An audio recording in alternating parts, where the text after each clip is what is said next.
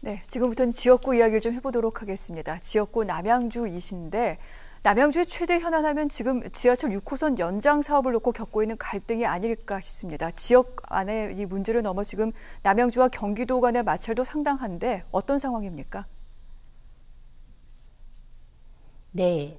남양주 6호선 광역철도 연장 사업은 2019년도에 서울시, 구리시, 남양주시가 정책 협약을 맺고 경기도와 협의 과정을 통해서 함께 비용을 분담한다는 조건으로 평내 호평을 거쳐 마석까지 연장하는 안으로 추진되고 있었습니다.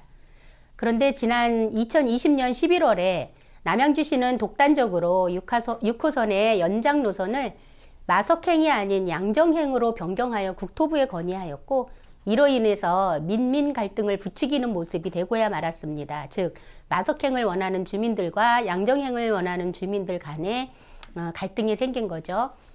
또 6호선 연장 사업의 지방 부담금 중에서 50%를 분담하기로 했던 경기도는 광역교통법 제10조에 재정 지원과 관련된 사항은 사전 협의를 하여야 한다는 조항에 남양주시는 변경안을 결정하기 전에 도의 사전 협의를 위한 절차를 절차를 이행하였어야 함에도 공식적인 요청이 없었기 때문에 행정 신뢰의 문제로 도비 분담이 곤란하다고 주장하고 있습니다.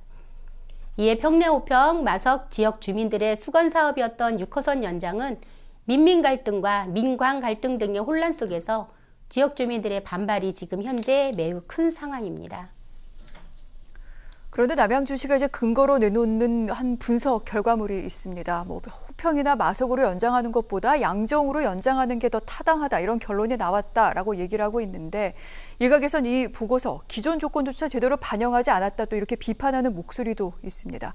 의원님께서 보시기에 어떤 문제가 있다 이렇게 좀 생각을 하시는 거죠? 네, 남양주시에서는 양정핵과 마석, 마석 구간의 비용 편익 분석할 때 기존의 조건을 다르게 설정해서 발표했습니다. 이에 따라서 지역 주민들 간의 혼란을 가중시키고 있는데요. 먼저 철도 연장으로 인한 예상 수요의 경우에 금곡부터 마석까지 구간의 인구가 24만 명임에도 불구하고 마석행 연장 예상 수요를 약 16,000명 정도라면서 전체 인구 중 0.06%만 어, 이용할 것이라는 통계를 발표하였고요.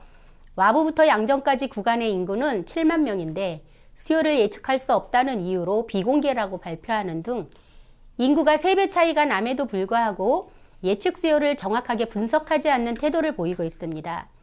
또한 차량 기지 매각 비용의 이익, 노선 용량의 한계점 등은 양정행에만 이익을 반영하고 대안을 마련하는 태도로 처음부터 마석행은 불가능하다라는 조건으로 분석된 자료로서 지역 주민들은 정확한 분석을 요구하고 있는 실정입니다.